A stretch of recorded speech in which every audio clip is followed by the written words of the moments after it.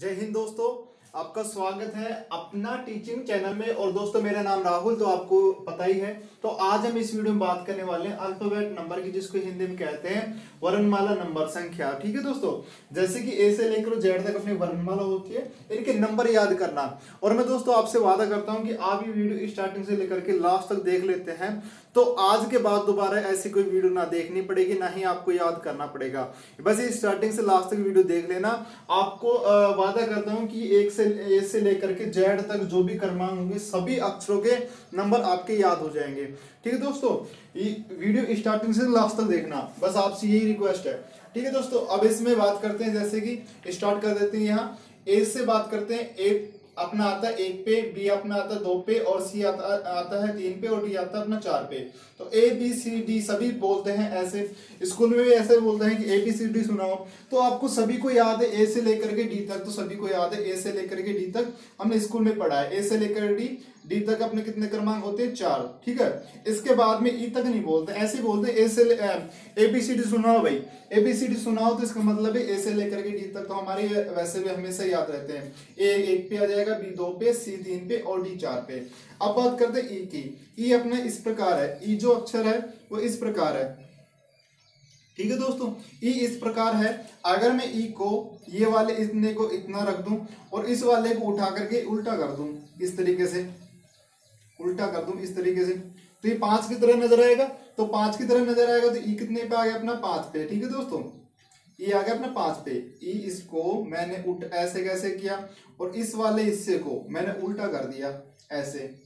ठीक है तो ई कितने पे आ रहा है अपना? पाँच पे। तो ई जैसे ही दिखाई देगा तो हम समझ जाएँगे कि कौन से नंबर पे? पाँच पे। एफ़ की बात करो एफ़ मतलब होता है फिक्स और फिक्स से याद रहेगा सिक्स ये आप इस तरीके से याद रख सकते हो। एफ़ अपना इस तरीके से, अगर मैं इसको बंद कर दूँ तो आपको छह की तरह नज़र आएगा और इसको मैं उल्टा कर दूँ। ऐसे कर दूँ, उल्टा, ऐसे। अगर मैं इसको बंद कर दूँ और उल्टा कर दूँ तो याद रहेगा एफ़ कितने पे हो जाएगा? सिक्स पे। और ऐसे भी याद रख सकते हो एफ़ एफ़ से फिक्स और फिक्स से सिक्स। ठीक है दोस्तों? एफ़ से एफ़ से फिक्स और फिक्स से सिक्स। तो एफ़ अपना कितना पे हो जाएगा दोस्तों? सिक्स पे। और जी की बात करूँ मैं, जी की, जी अपना इस प्रकार आता है। ठीक है दोस्तों इस प्रकार आता है। तो यहाँ की लाइन आपको नज़र आ रही है ये वाली। ये वाली आप किस किसकी तरह नज़र आ रही है? ये वाली सात की तरह नज़र आ रहा है। तो जी कितने पे हो जाएगा दोस्तों? सात पे। ठीक है दोस्तों जी कितने पे हो गया? सात पे। एच की बात करता हूँ। एच अपने इस, इस इस तरीके से नज़र आ रहा है। इस तरीके से इसको अगर मैं बंद कर दूँ इसको मैं बंद कर दूँ? तो आपको आठ की तरह नज़र आ रहा है। तो एच हो जाएगा अपना आठ पे। फिर से बता रहा हूँ एच अपने इस तरीके से होता है। अगर ऊपर से बंद कर दूँ, नीचे से बंद कर दूँ। कितनी हो जाएगा दोस्तों? आठ पे। अगर आपको समझ में आ रहा है, याद हो रहा है तो आप इस वीडियो को लाइक कीजिए चैनल सब्सक्राइब ज़रूर कीजिए।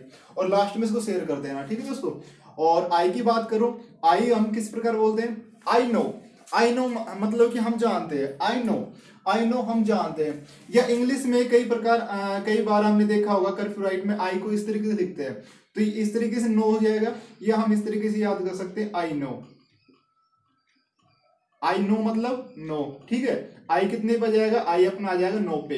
इस तरीके से याद रहेगा आई नो या आई को हम इस प्रकार भी लिखते हैं इंग्लिश में तो नो की तरह इंटरफेस होगा। और जे को हम किस प्रकार याद रखेंगे? एक छोटा सा है ई ज्योति। ई ज्योति की एक लड़की का नाम समझ सकते हो किसी प्रकार से समझ सकते हो। ये हो, ये होता है अपना पाँच का गुणांक। कितना क्या होता है दोस्तों? पाँच का गुणांक। होता है अपना पाँच पे अभी देखा ही था हमने। पाँच जी हो जाएगा दस पे ओ हो जाएगा पंद्रह पे और टी हो जाएगा बीस पे और वाई हो जाएगा पच्चीस। पाँच दूनी दस पाँच ते पंद्रह पाँच चौबीस पचास पच्चीस। ये पाँच का पाँच का गुणांक है, इसको आप याद रखना है। ठीक है? जैसे याद रहेगा अपना दस पे, ई ज्योति से याद रहेगा, जी आता अपना दस पे। ठीक है? अगले की बात करता हूँ, के की, के को हम इस प्रकार लिखते हैं। पहले ये लाइन लिखते हैं और फिर ये लाइन लिखते हैं। अगर पहले ये लिखते हैं और इस वाली को मैं सीधा कर दूँ तो इस तरीके से नज़र आएगा, ग्यारह के तरीके से। तो ग्यारह के अपना कितने पे हो जाएगा दोस्तों? ग्यारह पे। तो अपना के आंसर हो जाएगा ग्यारह पे। एल की बात करता हूँ। एल हमने ऐसे पढ़ा है कल।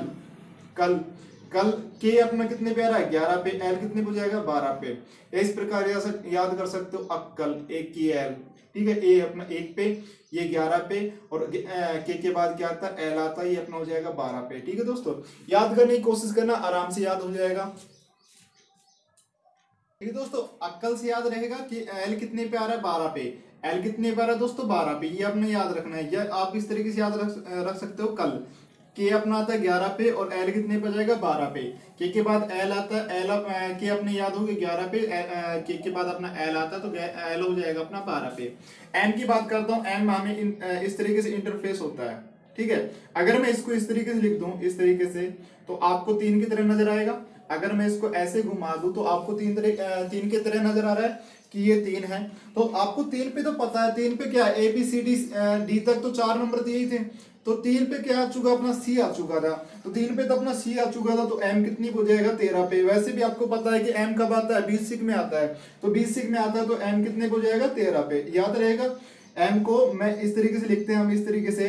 तो अगर इसको मैं ऐसे उल्टा कर दूँ तीन की तरह नज़र आएगा और एक कर दूँ कितना हो जाएगा तेरह पे। तीन को हमें पता है तीन पे तो अपना सी है तो तीन पे तो हो नहीं सकता कितने पे होगा? तेरह पे होगा। एन की बात करूँ एन होता है अपना चौदह पे। एम के बाद क्या आता है? एन आता है मन। ठीक है मन से याद रख सकते हो चौदह पे। या मैं इस, प्रकार कहूँ कि एन को हम इस प्रकार लिखते हैं। ठीक है दोस्तों? अगर ये लाइन मैं ऐसे कैसे रहने दूँ और ये वाली लाइन ऐसे कैसे रहने दूँ? ठीक है? और इसको बीच वाली लाइन को मैं ऐसे कर दूँ तो चार की तरह नज़र आएगा। चार की तरफ़ नज़र आएगा ना, इस वाले को लाइन को मैंने ऐसे कर दिया, इस वाली लाइन को थोड़ा नीचे तक कर दिया और इस वाली लाइन को मैंने बीच में कर दिया। तो आपको चार की तरह नज़र आ रहा है। चार तक तो हमने पहले याद किया बचपन से याद करते ए बी सी डी तो डी पे डी तक अपना चार हो जाता है। तो चार पे तो होगा नहीं एन एन कितने पे होगा? अपना चौदह पे होगा। तो एन हो जाएगा चौदह पे। आपको अच्छी तरीके से याद रहेगा।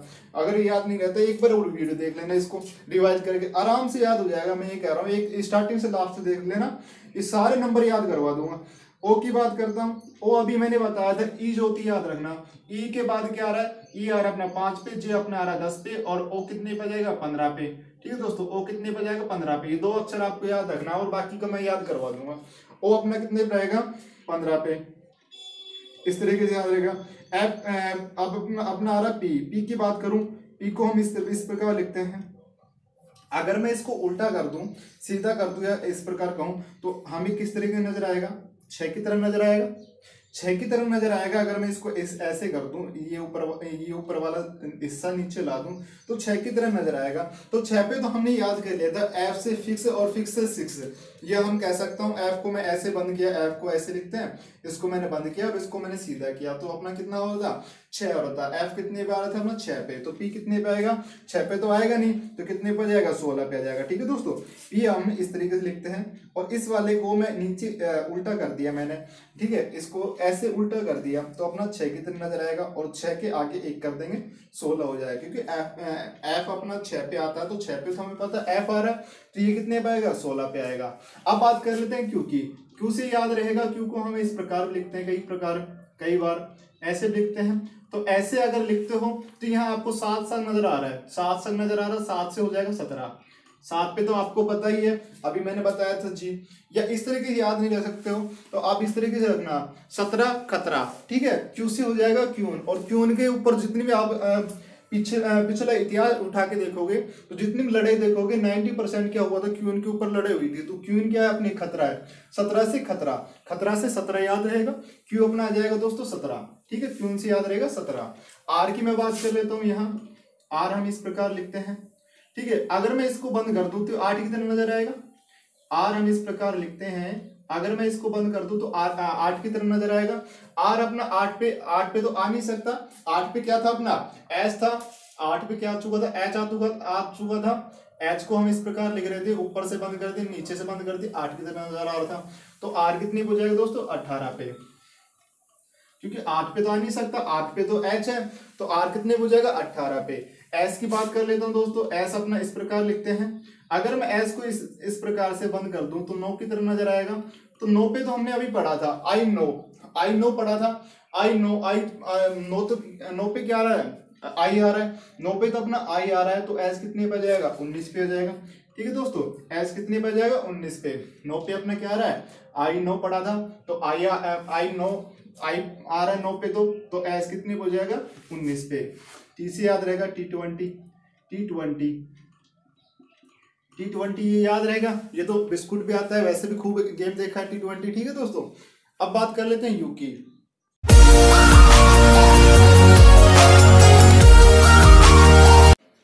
बात कर लेते हैं दोस्तों यू की। यू से हम, हमें क्या पता चलता है? यू से हमें पता चलता है युवा। और युवा जब भी 21 साल का हो जाता है तब क्या कर देते हैं? उसकी शादी कर देते हैं। तो युवा जब 21 साल का होता है तब शादी कर लेते हैं। तो यु कितने पे हो जाएगा दोस्तों? 21 पे। और जब 21 पे उसकी शादी कर दी तो क्या बन जाता है? वो जोड़ा बन जाता है। तो जोड़ा का हम इस प्रकार लिख सकते हैं दो दो।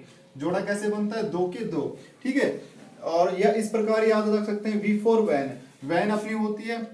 ठीक है? वैन के दो टायर तो आगे होते हैं और दो दो टायर पीछे होते हैं। तो दो टायर आगे और दो दो टायर पीछे। इस प्रकार याद रहेगा वी से वैन ठीक है? वाई याद वी से याद रहेगा अपना वैन वैन के दो टायर आगे, दो दो टायर पीछे। यू अपना याद रहेगा यू युवा इक्कीस साल का हो जाता है, तब उसकी शादी कर दी जाती है। अब डब्लू की बात कर लेते हम डब्लू डब्लू अपने इस प्रकार है। इस प्रकार लिखते हैं, अगर मैं डब्लू को इस प्रकार घुमा दूँ तो ये तीन की तरह नज़र आएगा।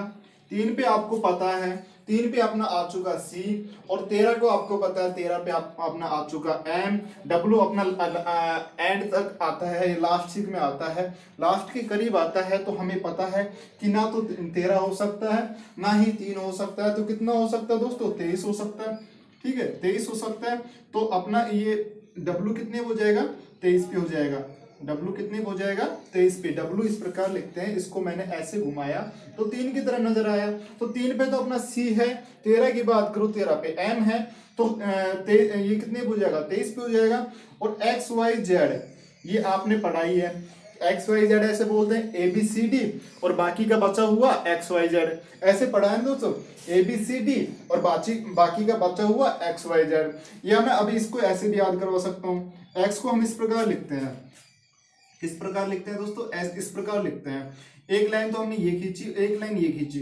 कितनी लाइन खींची? दो लाइन खींची। दो लाइन खींचने खींचने के बाद कितनी लाइन हो गई? एक ये हो गई, एक ये हो गई, एक ये हो गई, एक ये हो गई। कितनी हो गई दोस्तों? चार लाइन हो गई। तो एक्स कितने हो जाएगा दोस्तों?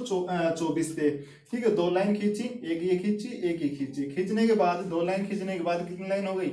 एक, दो, तीन चार चार लाइन होगी तो चौबीस भी याद रहेगा।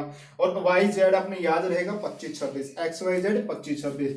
ई ज्योतिष याद रखेंगे, पाँच का क्रमांक, ई पे पाँच, जे दस पे, ओ पंद्रह पे, टी ट्वेंटी हो गया और वाई पच्चीस हो गया। ठीक है दोस्तों? दोस्तों आपसे उम्मीद करता हूँ कि वीडियो आपको अच्छी लगी। प्लीज़ वीडियो को लाइक कीजिए। अभी तक चैनल सब्सक्राइब नहीं किया हो तो इस वीडियो के नीचे लाल कलर सब्सक्राइब को ऑप्शन सब्सक्राइब कीजिए जहाँ घंटे का निशान उसको दबाइए जिससे जैसे नेक्स्ट वीडियो आए तो उस, उसका नोटिफिकेशन सबसे पहले मिल सके। ठीक है दोस्तों? और इसको वीडियो को शेयर करना कतई ना भूलना। जितना ज़्यादा शेयर करोगे जितना ज़्यादा इसको पब्लिक करोगे उतने ज़्यादा आपको वीडियो मिलेगी उतना बढ़िया कंटेंट के साथ आपको वीडियो मिलेगी। ठीक है दोस्तों? जैसे भी उसके व्हाट्सएप फेसबुक जैसे भी उसको उतना ज़्यादा शेयर करना सभी को बताना कि अपना टीचिंग चैनल पर जाए। अपना टीचिंग चैनल पे जाए, जहाँ पर आपको मैथ और रीजनिंग की शॉर्टकट और बढ़िया लेवल के क्वेश्चन मिलेंगे और सारा सब कुछ फ्री में मिलेगा। एक बार जब पढ़ लिया ना तो दोबारा पढ़ने की ज़रूरत नहीं होगी। ठीक है दोस्तों? और लाइव क्लास मैंने स्टार्ट कर दी। लाइव क्लास का भी आनंद ले। ठीक है दोस्तों? मैथ रीजनिंग को आपको, जो भी आपको प्रॉब्लम होती है, आज से वो प्रॉब्लम खत्म। ठीक है दोस्तों? और इसको कमेंट द्वारा ज़रूर बता देंगे वीडियो कैसी लगी, अच्छी लगी, नहीं लगी। जैसी भी लगी दोस्तों कमेंट द्वारा बताना।